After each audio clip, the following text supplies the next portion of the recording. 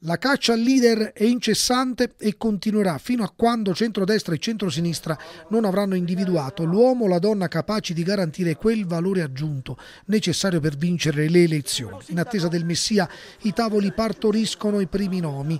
Nel centro-sinistra i papabili al momento sono Vittorino Facciolla, Micaela Fanelli, la new entry Candido Paglione, Angelo Primiani e Vittorio Nola. La sensazione è che si tratti di apripista, nomi messi messi sul tavolo per iniziare un ragionamento che dovrà portare a individuare l'assopigliatutto. I profili giusti sarebbero stati individuati e contattati. Un uomo, per il nome bisognerà attendere qualche giorno, e una donna, Alessandra Salvatore.